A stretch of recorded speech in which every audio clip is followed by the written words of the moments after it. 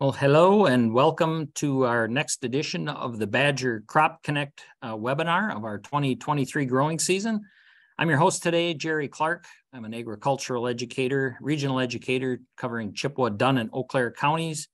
Um, the Badger Crop Connect series aims to provide timely crop updates for producers and uh, agricultural professionals in Wisconsin throughout the growing season. Uh, the program is jointly sponsored by the UW Division, UW Madison Division of Extension, the Crops and Soils Program, and the UW Madison Nutrient and Pest Management Program.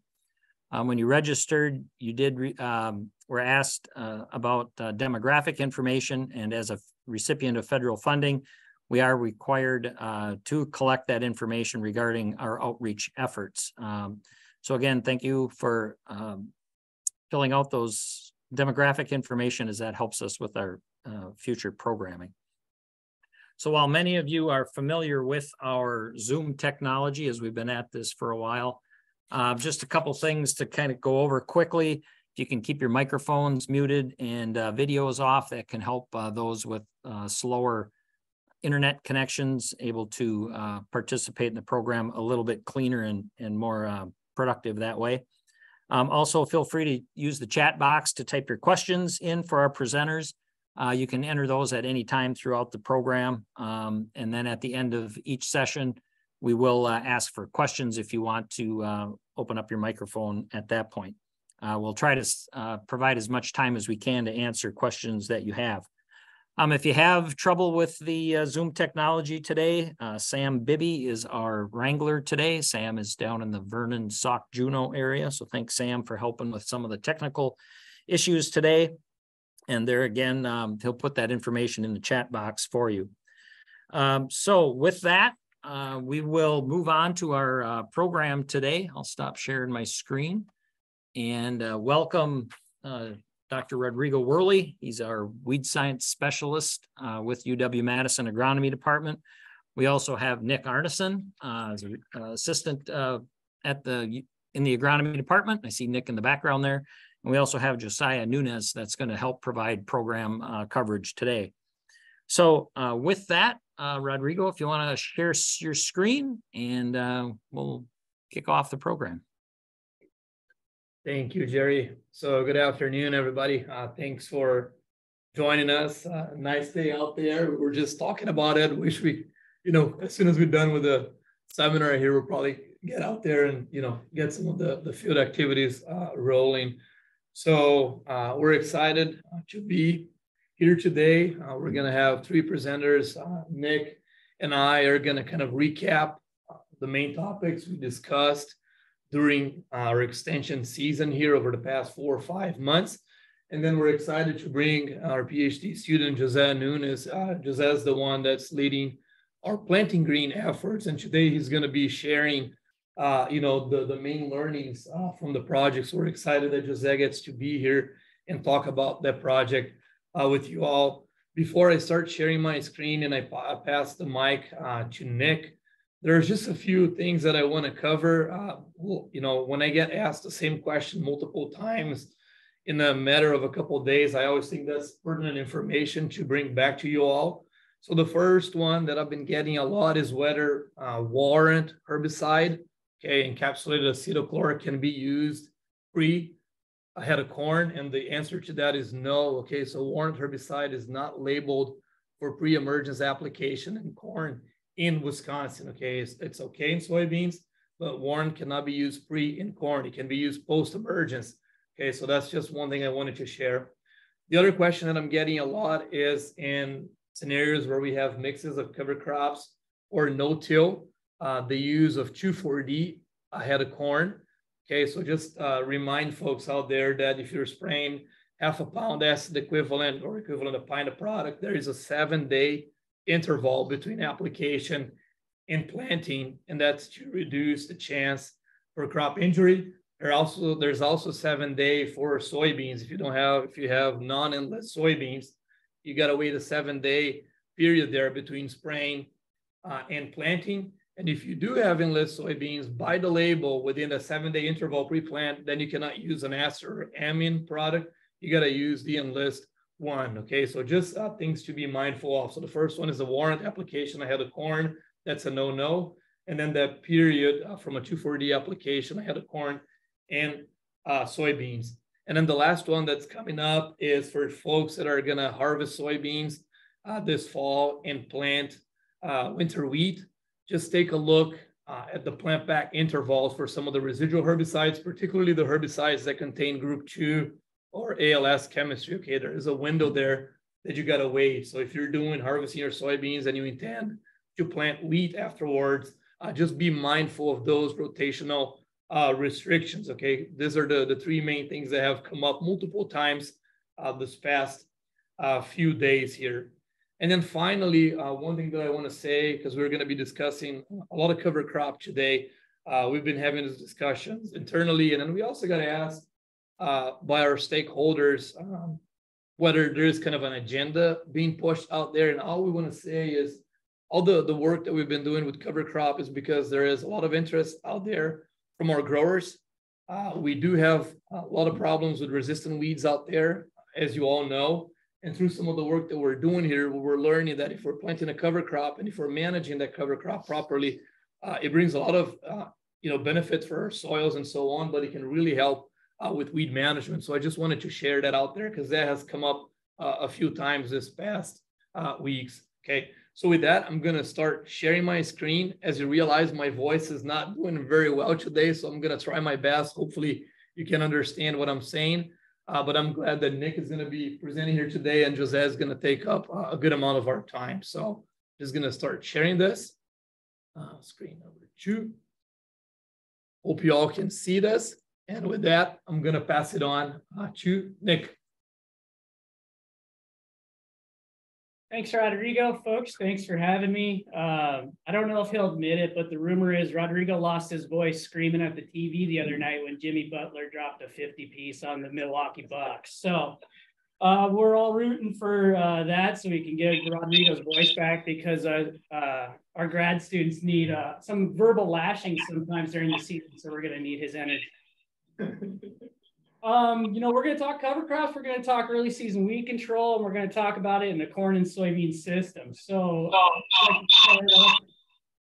I'll just ask if anybody's got their mute, if they could just mute, please. Uh, I want to talk about first and foremost, of course, all the people that support our research, uh, being the agronomists in the state, the university extension, all the uni all the funding agencies, the commodity groups, and you know, when I say that, that corn and soybean farmers. So you guys support us. So we appreciate you guiding us in our mission. And then, of course, the students and staff of uh, years past and all the work that they've done.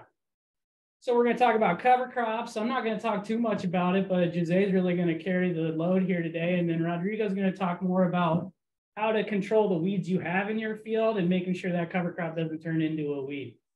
So we're sitting here. We're most most of us are anxious to get in the field. Maybe uh, We've gotten some things planted. I just want to start out and say, let's just make sure the planter doesn't get too far ahead of the sprayer because uh, opportunities like this, we get excited, we plant a lot, and then we have to get back and get our residuals on.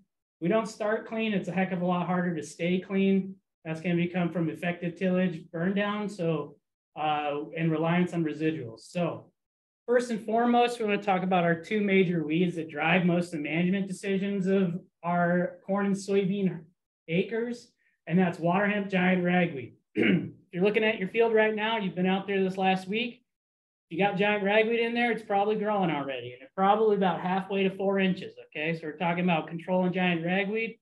We need to be thinking about uh, an effective burn down or tillage uh, as, soon as, as soon as possible before we get too far ahead with our planter. Uh, water hemp's another story. It's coming up a little later in the season. Just going to use a couple of tweets from the last two years. This one a couple weeks ago, April 13th, we already got giant ragweed coming up out of the ground. Uh, props to Josh Camps for sending the picture. And look at those hands. He's got dirt under his fingernails. You know Josh is getting work done.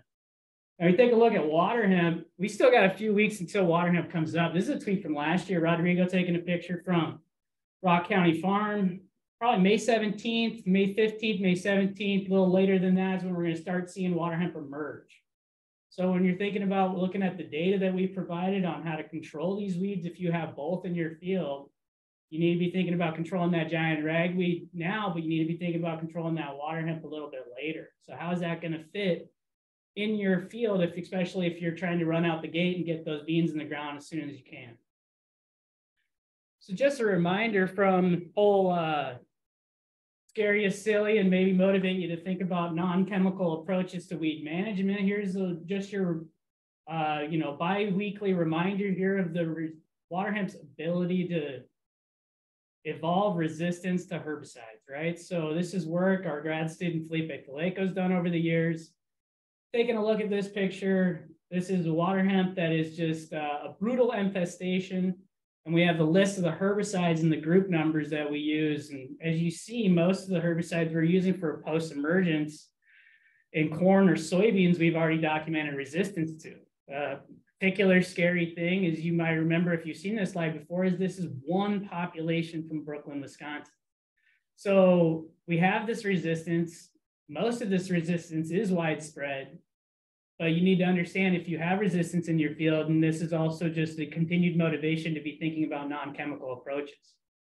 You know, finally, we think about what options we have and some of our more novel herbicides are, uh, are newly used herbicide transgenic traits in our soybeans that are allowing us to use these herbicides. How much longer until we put glufosinate on this list or Liberty, right? We're going to put a lot of pressure on Liberty. We've been putting a lot of pressure on the last few years. How much more time do we have until any of these herbicides are really effective from a post-emergent standpoint? So when we talk about resistance, we're usually talking about post-emergent herbicides. We tend to lean on the recommendation of using residuals. So when I talk about residuals, talking about a pre-emergent herbicide that you would pair with an effective burn down, and then a herbicide that you would pair with your post-emergent with residual. Now, the unfortunate thing is that we've also documented resistance to PPO pre-emergent herbicides in water hemp. So this is a population from, I believe, Dodge County, and this is, uh, you know, it's one of those things where I can't say that we're terribly surprised to find it. Uh, we are just uh, upset for how quick, I guess, we've identified this in the last year. And uh, Felipe is continuing to test this population for additional PPO pre-emergent herbicides. So Rodrigo is going to touch on this later, but when you think about foundation pre's for water hemp control, PPOs are always coming up to the top. So we're talking about your Spartan or sulfentrazone, your authority products, or your flumioxazin, so your Valor or your Fierce products those are something that we need to be paying attention to. And it's particularly concerning because a lot of times we come here and we talk about resistance, some of the more novel cases of resistance, we're talking about states to the south of us. Unfortunately, we're already finding this in Wisconsin. So this is something we need to be thinking about. On top of that, talking about a state to the south of us, work done by Dr. Aaron Hager over the years and Dr. Pat Tranel there is they've identified group 15 resistance. So if you look at some of the water hemp resources we've released over the years, you know, we say pick a pre-emergent herbicide that has effective sites of action, which would likely be either a group 14, the PPO, a group 15, your LCFA. So this is your, as Rodrigo was talking about, your warrant, your uh, dual magnum, your pyroxasulfone, that Zidua. These are the new, this class of herbicides we rely really heavily on for small seeded weed control we already have documented that group 15 resistance in the state of Illinois. So instead of just thinking that you need to adopt an aggressive pre-emergent herbicide program, we need to be cognizant of that ability to adapt resistance to pre's. So when we have resistance to post, we spray the herbicide to the plant, the plant doesn't die, right? What does resistance to pre's look like? You spray the pre, the pre typically lasts about 30 days in the soil. You get nice control for about 30 days. When you start to see resistance in your field, you're going to see that near a window of residual control narrow.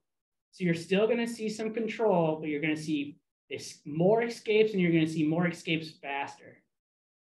So the reason we included these slides up front is just to show where we've we've been going with our chemical weed management program in corn and soybeans and why we're shifting towards this conversation about bringing in non-chemical control and bringing in cereal rye cover crop uh, as the data that Jose is going to share with us today as part of his PhD.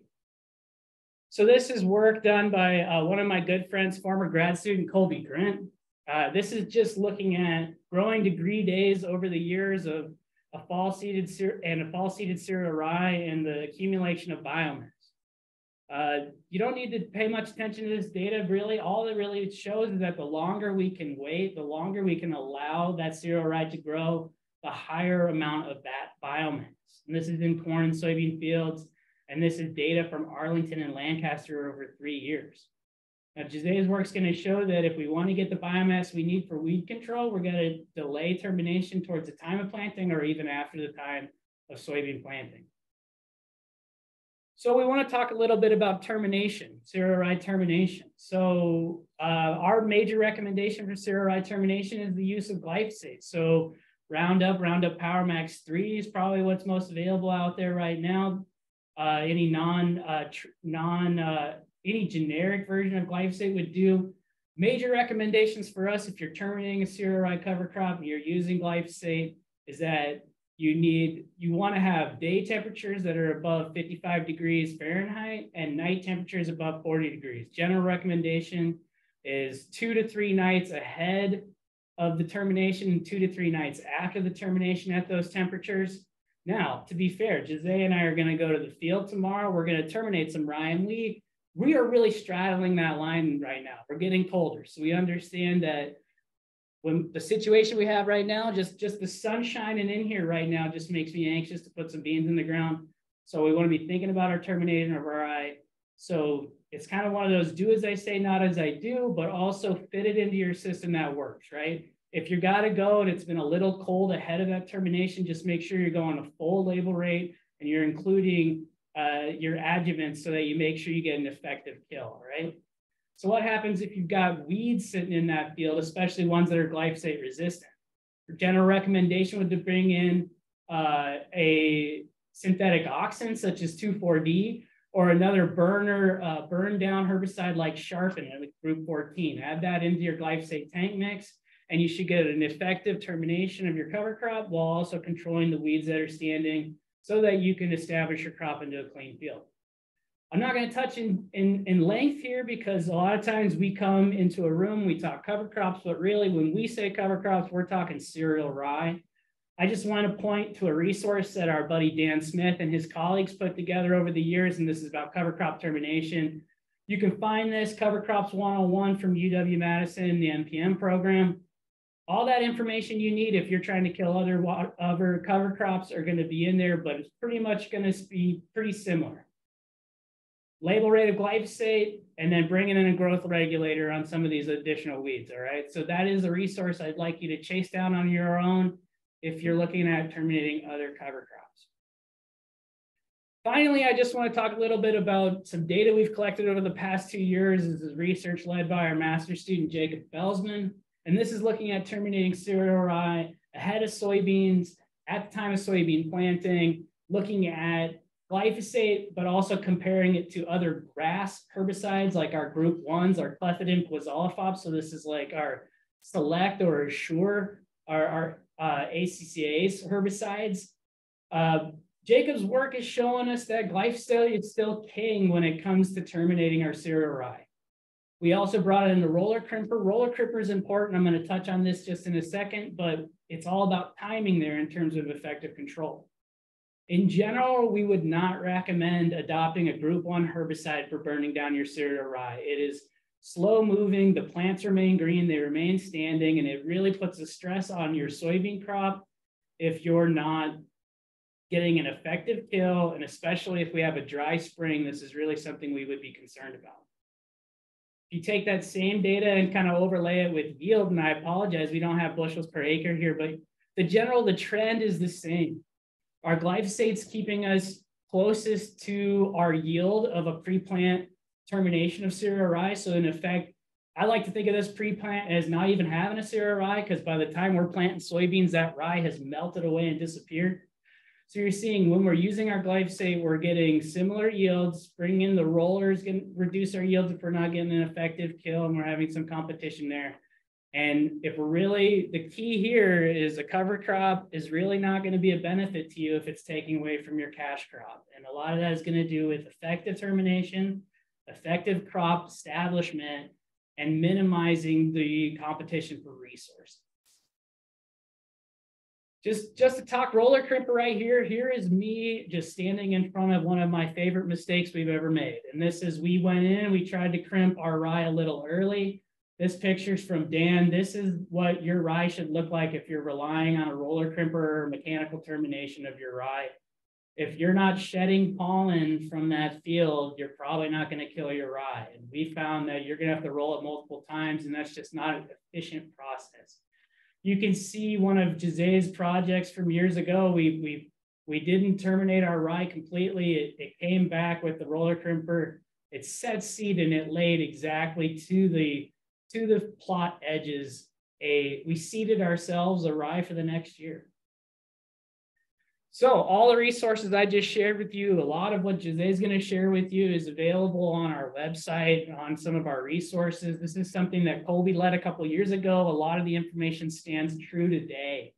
Scan that QR code, check out our website, wiscweeds.info for more information on considering when you cover crop, your terminate your cover crop. Finally, I've got just a resource. A lot of Jose's work is the backbone of this. It's something we put together online in case uh, you want to dive deeper into the data that we share with you today. And lastly, I just want to say, don't be afraid to pay attention to what's going on in the rest of the country, right? Places warm up a little faster than us. Uh, it's we sort of have the benefit of being a little slower moving here up in the northern latitude that we can see what's going on in the other states and learn from uh, some of the things that are going on. Our colleagues in Penn State right now are saying, maybe we shouldn't plant green. You know, they're looking at a soil moisture deficit. They're looking at a potentially dry spring. And they're saying, if we're going into a dry spring with a soil moisture deficit, this cereal rye is not going to do us any good for what we want. You know, the key here is a good crop first and then a good cover crop second, right? So keep an eye on the weather. Feel free to chase this link. Um, it's not necessarily translatable to Wisconsin as we see it right now but it's always important to pay attention to what's going on around us because what uh, what Pennsylvania sees this year might be what we see next year or what we might see if we don't uh, catch some good moisture here in the next few weeks. So with that, I'm gonna invite Jose to come over here and talk. I think Jose will cover our cover crops. Maybe we'll hold till Jose finishes and we'll look at any conversation, discussion, questions we have about cover crops before we transition to Jose. So thanks for the opportunity. Good luck this season.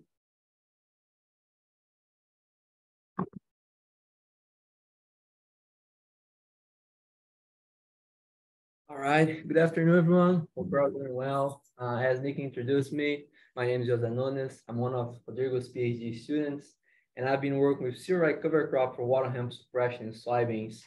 And today my goal here is to provide you some considerations about the, the importance of cereal cover crop termination for effective uh, water hemp suppression, uh, the impacts of the cereal cover crop on the fate of pre-emerge herbicides, and also a little bit about soybean yield at the end of the season. So before I start this presentation, just wanted to say that you know when we talk about cover crops, uh, it's cover crops are not a silver bullet, so they're not gonna solve all your weeds problems. Uh, so it's really unlikely that they're gonna provide season-long weed control. So when we when we talk about cover crops, uh, this is more like another tool that farmers can integrate their toolbox to help them uh, manage problematic weed species. So we don't want them to replace a herbicide with cover crop. We want them to integrate this practice because it, it has a lot of different benefits. So I've been working with water hemp in my research projects. And as most of you know, water hemp is a really uh, big problem in the state of Wisconsin. So this is a map from my colleague Felipe Faleco showing that uh, herbicide resistance, water hemp herbicide resistance uh, is widespread across the state of Wisconsin. So due to that, those cases of resistance, especially to post-emerge herbicide resistance. That's why I've been working with cover crops, uh, with CRI to give farmers another option uh, to help manage water hemp. So water hemp is going to be the topic, the focus of my presentation today. And as Nick introduced, uh, the idea of the CRI cover crop. So here we want to have uh, a desired plant growing between the two growing seasons when we have a corn soybean rotation or a continuous soybean system. So we want to have that ground covered uh, with a desired plant instead of being sitting there as a fallow. In the case of the cereal cover crop, it has two ways uh, to provide weed suppression. The first one is by competing with weeds uh, for resource and space. This is especially true for the for weeds that emerge uh, either uh, late in the fall or really early in the spring. Uh, but for water hemp suppression, uh, we don't, in most of the case, we don't have a direct competition of the cereal cover crop with the water hemp plants because the time the water hemp start to germinate, uh, we, most of the case, we have already terminated that cereal cover crop. So for water hemp suppression, the key here is to produce enough biomass. We must have enough biomass to have this mulch uh, protecting the soil, which is going to prevent water hemp emergence and also de uh, delay its development. So the key here, for when we talk about cereal cover crop for water hemp suppression, is biomass accumulation. And in the state of Wisconsin, in the upper Midwest in general, uh, heat accumulation is a big challenge for cereal growth. So we must extend that window for cover crop growth as much as we can. So cereal termination is really important in this system. And one common question that we have about the system is, when do you terminate that CRI? So some farmers, they follow this kind of standard recommendation of terminating the CRI uh, one to two weeks before soybean planting or before cash crop planting. We call this an early termination. And they do this trying to avoid any kind of issues with crop establishment or cash crop yield at the end of the season. Uh, the problem when we do this practice of terminating the CRI uh, early in the season before cash crop planting is that most cases we don't have yet enough biomass to provide uh, effective water hemp suppression. And then if we postpone that CRI termination uh, and still want to do that termination before soybean planting, we're also going to delay soybean planting. And we know that from a yield stand perspective, uh, delaying soybean plant is not a good recommendation. So one way to go around this is the use of the planting green system. In this system, instead of, in this recommendation, instead of terminating the CRI uh, one to two weeks before soybean planting, we terminate it at soybean planting or even after in some cases. So instead of uh, delaying the soybean planting, we're only going to change the CRI termination timing so we can increase and maximize that window uh, for cover crop growth. So when it comes to cover cropping biomass accumulation, CRI is one of the best options that we have, and that's because CRI responds to growth quite well in the spring. So those pictures are from last year in the month of April, so April 15 and April 29, so about two weeks apart. And as you can see, there's a good difference in biomass accumulation during the month of April, which was uh, quite cold last year. So if you give the CRI an next 10 days, an extra week to grow in during the month of May, it's gonna accumulate a lot more biomass. Uh, Nick touched on this. So the two main ways we have to terminate the CRI is the use of herbicides. Glyphosate is our best option. And the second option, the second uh, method to terminate the CRI cover crop is the use of a roller, mechanical termination. Uh, both methods, they have their pros and cons, and I'll be happy to, any, to answer uh, any question you might have about the difference between the two terminations uh, based on what we learned during the past few years. So as I said, the planting green uh, system, this recommendation of delaying CRI termination until soybean planting, uh, it's kind of a new recommendation. So we have a lot of questions about this new system.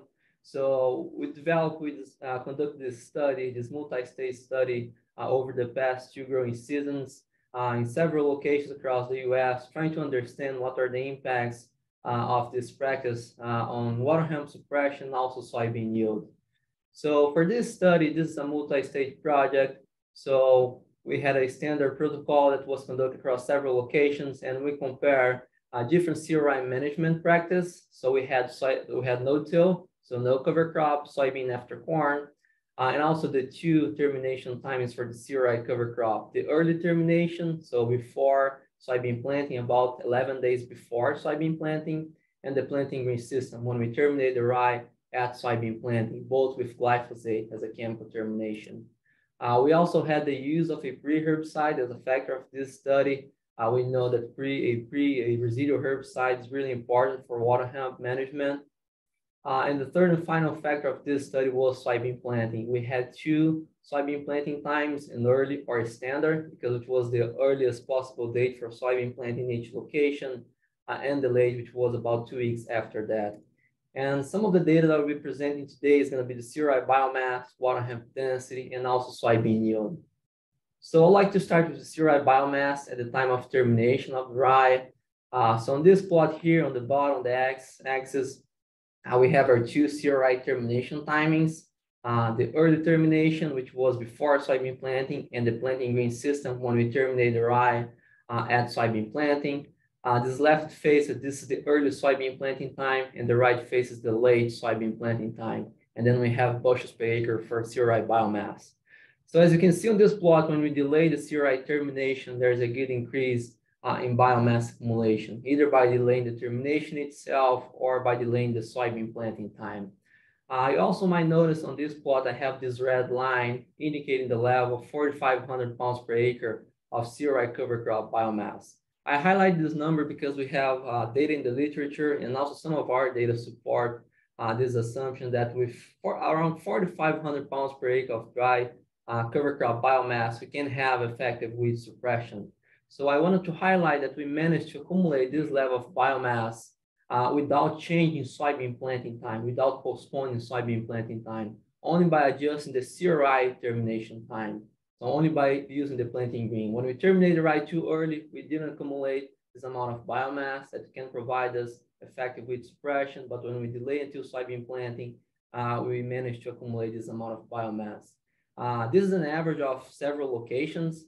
And then you might wonder, but we're in Wisconsin, so why are you showing us data from different locations? The thing is, uh, we had like extreme levels of biomass, uh, extreme lows and extreme highs. So this is a good average from different conditions. Uh, over the two years that we conducted the study in Wisconsin, we had a really good establishment of the cereal rye and we accumulate a lot of more biomass than this. So we didn't think the condition that we had in Wisconsin was realistic for most farmers.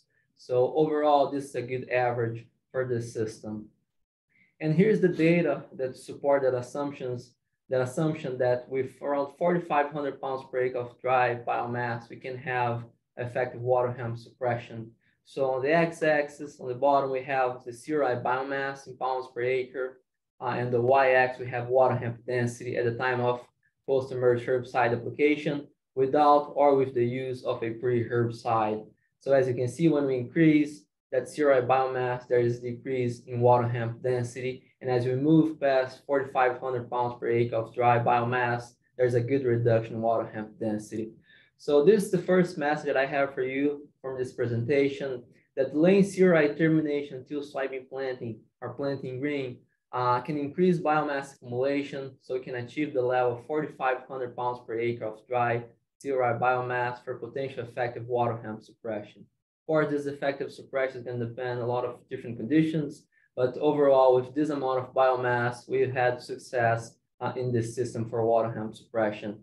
And I also like to emphasize once again, we managed to accumulate this amount of biomass without changing soybean planting time, only by adjusting the termination of the rye. So at the beginning of my presentation, I said that sometimes we terminate the rye too early, and so we don't have enough biomass for effective water hemp suppression. I have some pictures here to show you uh, with image what I mean by that. So I took this picture last year on May 21st, so 10 days after soybean planting. Uh, this strip of rye uh, on the on the left on the right, uh, it was the rye that we terminated before soybean planting, so it was our early termination. It was terminated 11 days uh, before soybean planting, so end of April. And then on the left, we have the cereal rye that we terminated uh, at soybean planting, the planting green system. So as you can see up front, there's a good difference in biomass accumulation just by delaying that termination by 11 days.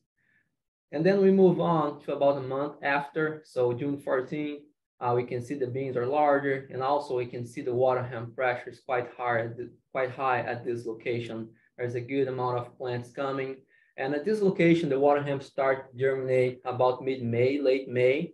Uh, and this picture is from the early termination of the rye. So besides the water hemp, you also can see that most of the cereal rye cover crop biomass has already gone. has already decomposed in that early termination. So this is a good example of the importance of the cereal rye termination for effective water hemp suppression. So what happened here, we terminated that rye late April. So the CN ratio of that biomass was still low. So the decomposition process took right, it started right away. Uh, and the biomass decomposition is quite fast. The rate of decomposition was quite fast in this situation. So by the time that the water hemp started to germinate, there's no there's no longer enough biomass to provide uh, effective water hemp suppression. So when we look at the water hemp density uh, under these conditions, so with the planting green, we had about 50 plants per square meter, square meter, 50 water hemp plants. Uh, and for the early termination, we had almost 200 plants uh, per square meter. And as I said at the beginning of my presentation, you know, the, the cover crops are not going to solve all your problems. They're not a silver bullet.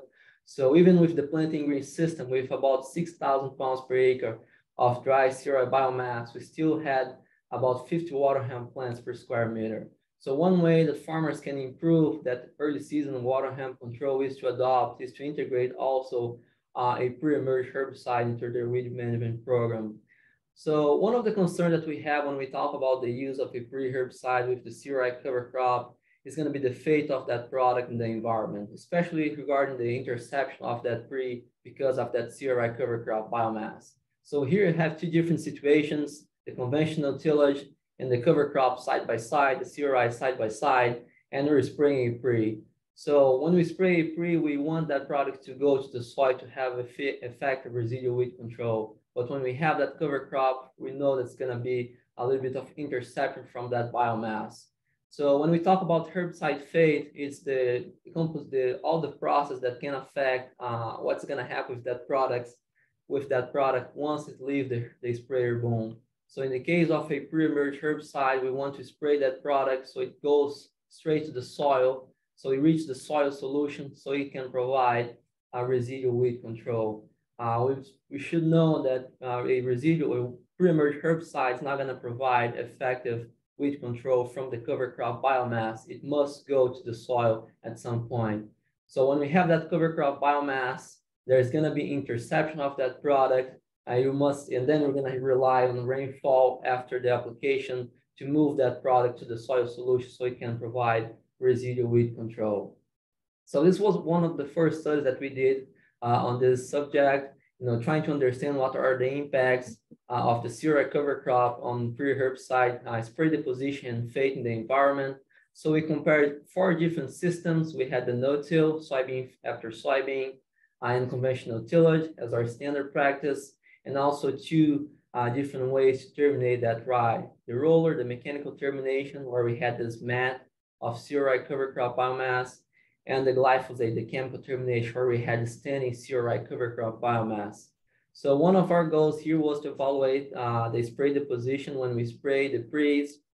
So what we did here, we put water sensitive cards at the soil level below that biomass to simulate the interception of that pre-herbicide uh, during application. And then we analyzed those cards to see what was the spray covered uh, from this study. So this is what we learned about uh, spray deposition so here I have an example of four different or four different cards from all those treatments. Uh, and the plot here on the right, uh, we have uh, the different treatments, the tillage, the no-till, and the two cereal rye treatments, glyphosate and roller. And on the y-axis, we have the percent of spray coverage, uh, which was the percent of the card that was covered by droplets. So with the tillage, we had the highest spray coverage. That's because we didn't have anything intercepting uh, spray solution because we worked the ground.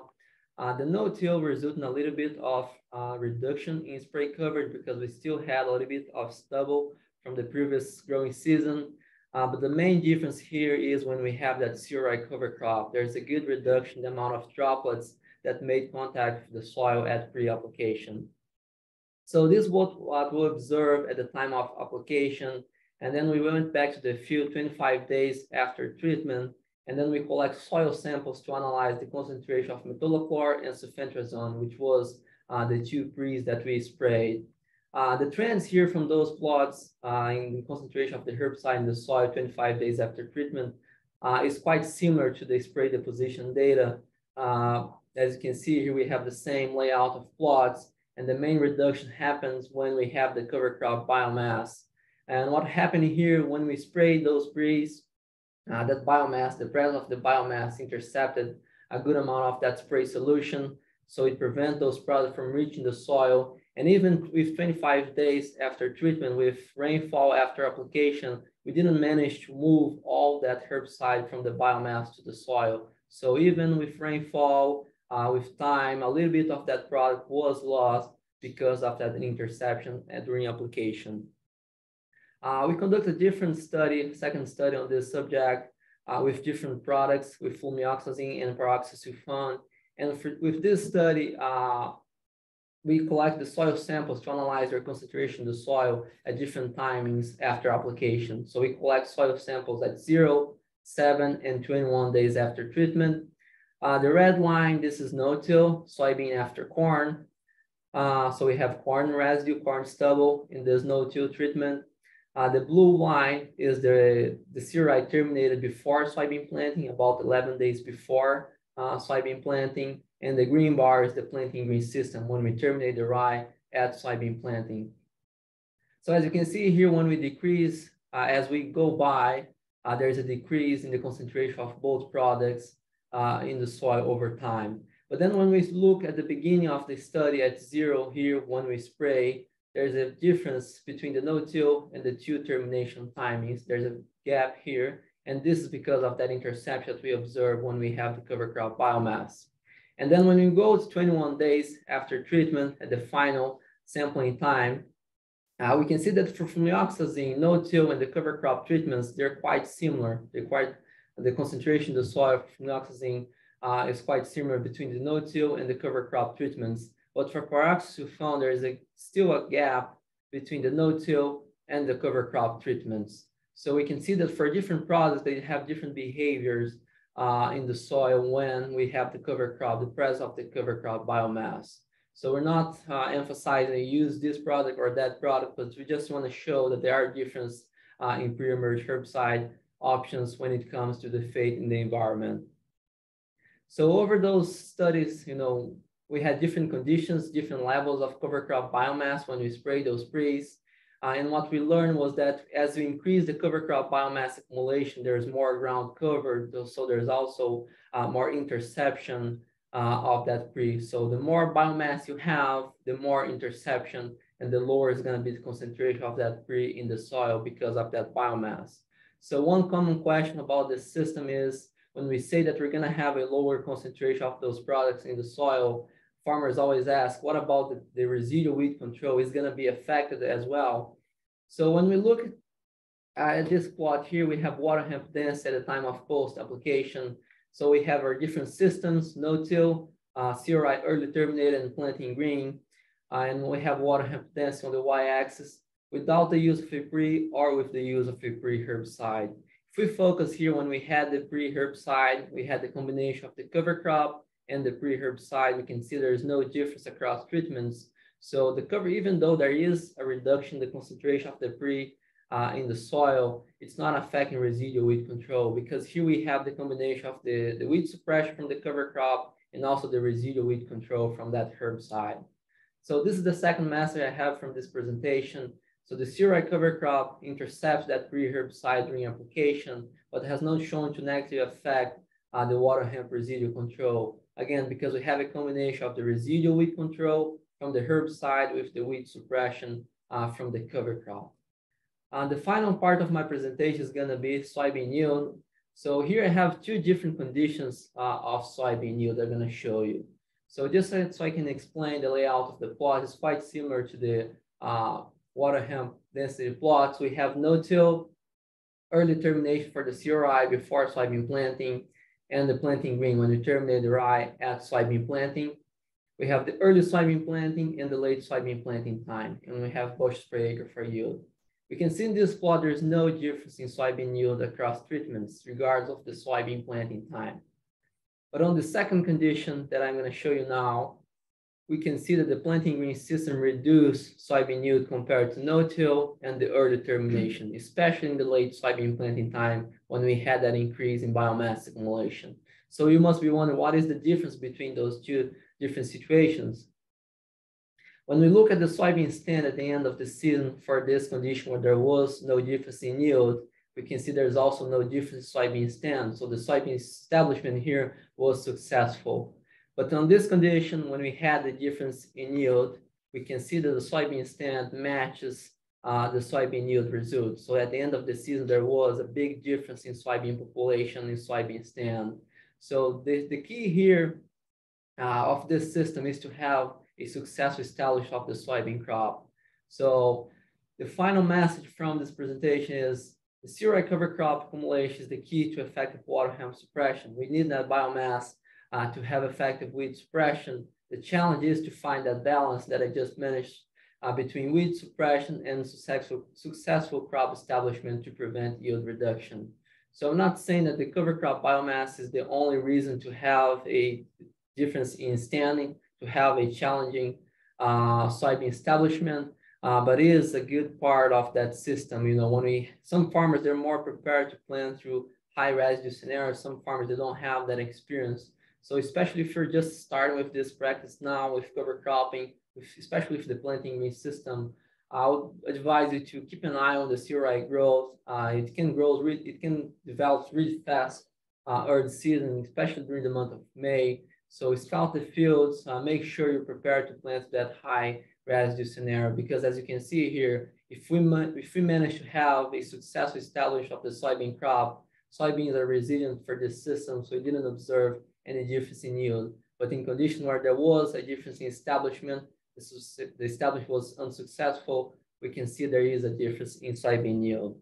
And the final message just to close this presentation, you know, based on the results that we have uh, of the cereal rye cover crop for water hemp suppression of soybeans, uh, we can say that the, the cereal rye cover crop can be part of an integrated weed management program uh, to help farmers uh, manage water hemp in soybean.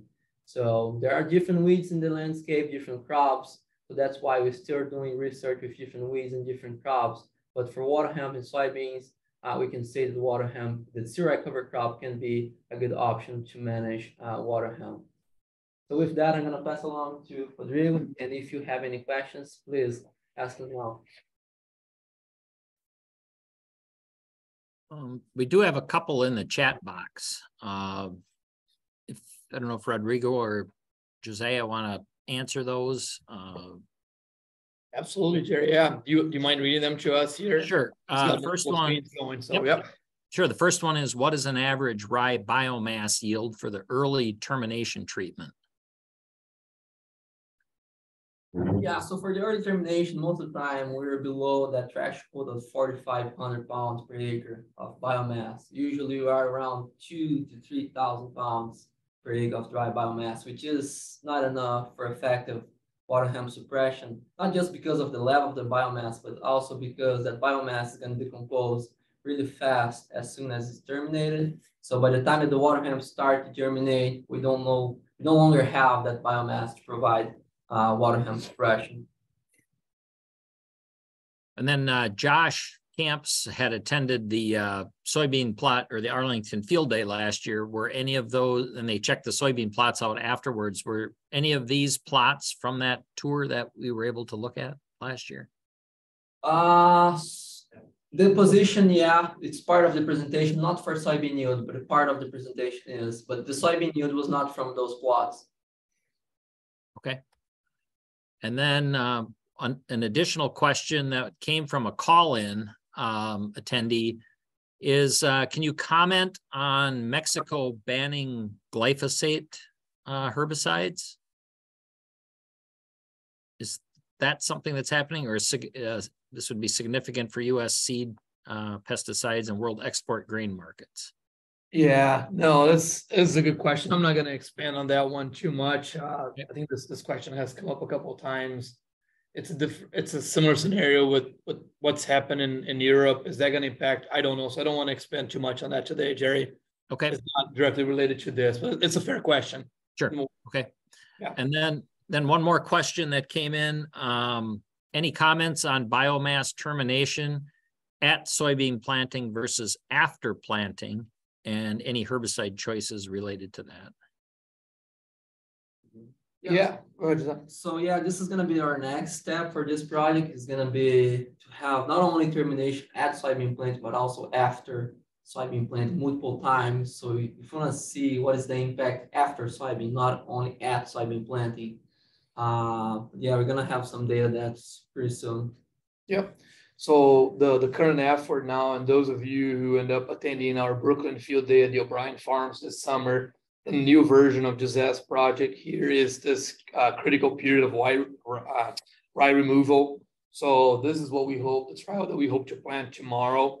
So we're gonna plant our soybeans early and we wanna understand how long can we let the rye grow, okay? Before we terminate it and not impact yield and get good water hemp suppression. So that's one of the focal points of that study.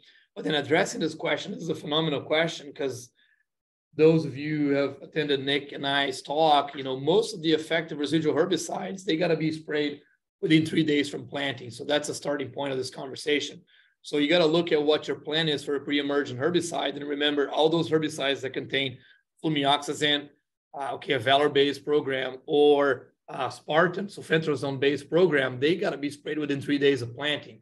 Okay. So if you intend to plant green and let that rye continue to grow, you may have to revisit program. And this is where the group 15 herbicides, your duos, your, your warrants, uh, your Ziduas and outlooks out there, combined with perhaps fomesafen or Flexstar, become your new option if you want to plant and then deliver the residual herbicide later on. This is also part of our uh, research efforts, trying to understand that exact uh, question. Okay, if I'm changing things a little bit, if I'm going to plant green and early, I want to let my rye grow and I want to deliver my residual later on what are my options? And this is kind of what we're working on.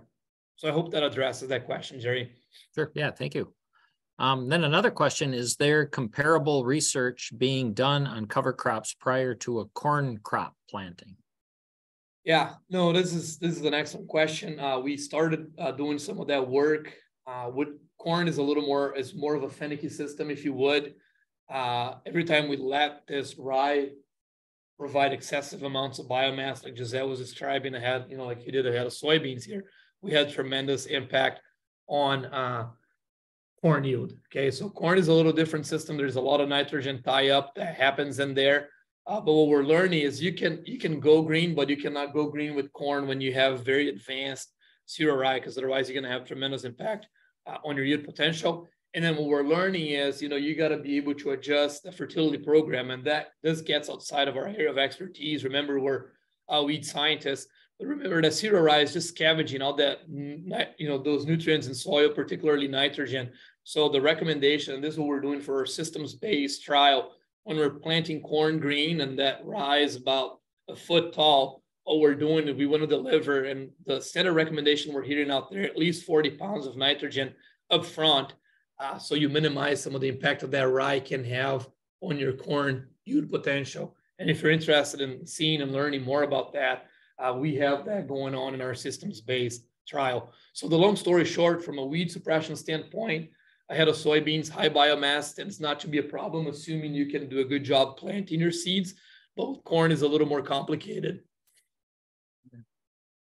And then another one came in. Uh, would you attribute any of the weed suppression to allelopathy, or is it only from competition for nutrients and sunlight? That's a fantastic question. I'll let Jose start answering it, and we can talk a little more because we've, yeah, Jose. Yeah. The allelopathy part of weed suppression is hard to understand, hard to measure. So most of our work shows that you know the level of biomass is more important than any potential effect of the allelopathy. Uh, because as we increase biomass, there is an increase, there is a response in weed suppression. Uh, even when we use dead biomass or green biomass, there is that response. So we believe there is a little bit allelopathy effect, some chemical compounds being released from the cover crop, but it's just so hard to measure. So it's really hard to, to point only that so we believe that the level of biomass that mulch over the soil, protecting the soil is more important uh, than the chemical compound that might be released. That's a fantastic answer. Just to add to, to that, one of Jose's project, what he does, he goes to Arlington and he chops biomass at Arlington. He lets that dry, and then he brings dry biomass, a cereal rye cover crop, to Brooklyn and he puts different amounts of biomass in the soil surface. And what drives suppression is what he's saying is the amount of biomass you can accumulate. So allelopathy might be playing a role here, uh, but the true driver for weed suppression is the amount of biomass you can accumulate, having that barrier, that mulch on that soil surface, impeding that small seeded weed to establish and grow. Great. Um, I think that's all the questions we got now. Did you have some final comments, Rodrigo? Otherwise, I'll do a couple housekeeping things here to share some uh, QR codes and things like that. Yeah, no, this is excellent. I have I had a few extra slides here, Jerry, to present, Sure. but you know, for sake of time here, uh, I'm just gonna kind of talk about them uh, briefly.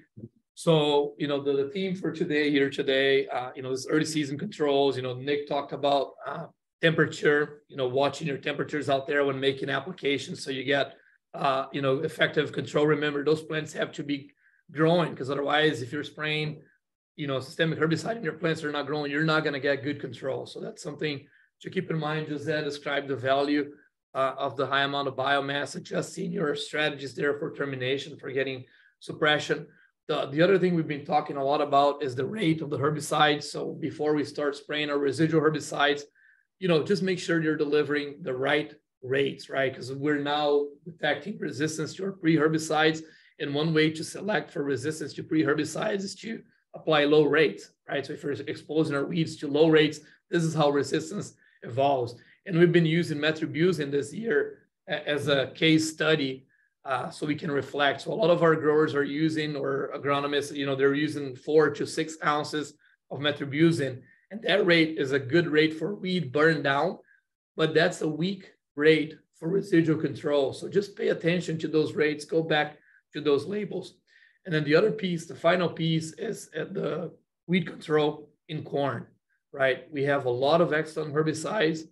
Uh, the work that our former PhD student just completed, Tatiana Severo, what she has shown is that you know the combination of multiple active ingredients is key for extended residual weed control. And then we're talking about mixing multiple AIs, we're thinking about resistance management.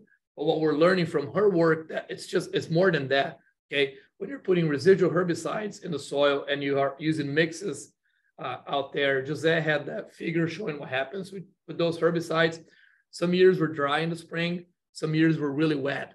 Having two or three AIs together kind of compensate for that. Okay, some herbicides need more rainfall or water for activation and to stay active in the soil. Some herbicides need less. Therefore, the strategy of having two, three AIs together you kind of protect yourself in case you have a dry year versus you have a wet year. So that was going to be the final remarks here of my presentation, Jerry. So with that, we can either take questions or we can pass it back uh, to you for the final remarks here of today's.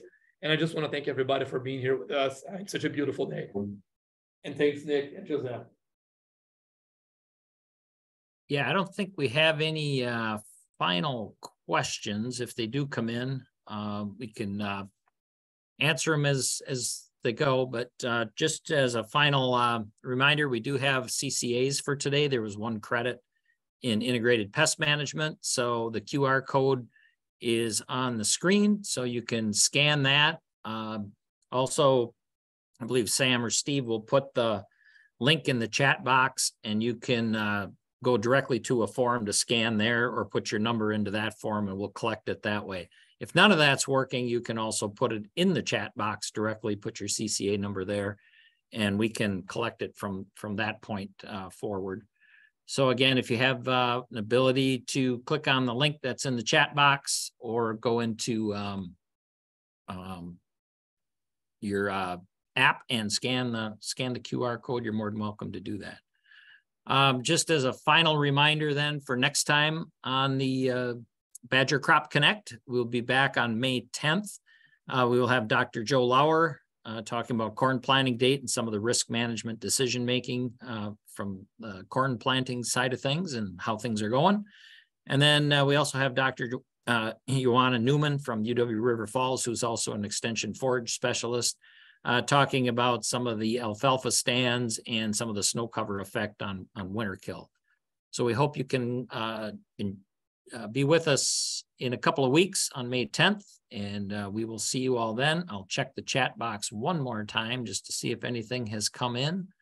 Uh, doesn't look like there's anything there. So again, I want to thank uh, Rodrigo, Nick, and Josiah for helping us out today. I appreciate all the effort you put into uh, the information and appreciate this full hour of uh, weed management. It's definitely timely and we really appreciate the information. So uh, again, thanks everyone for attending and we will see you again on May tenth.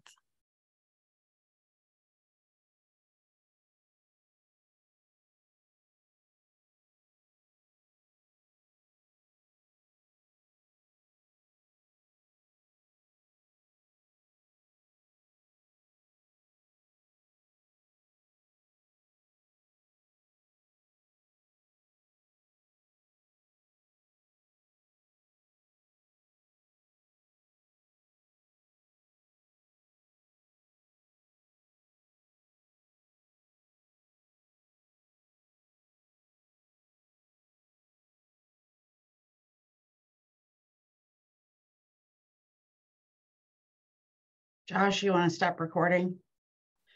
And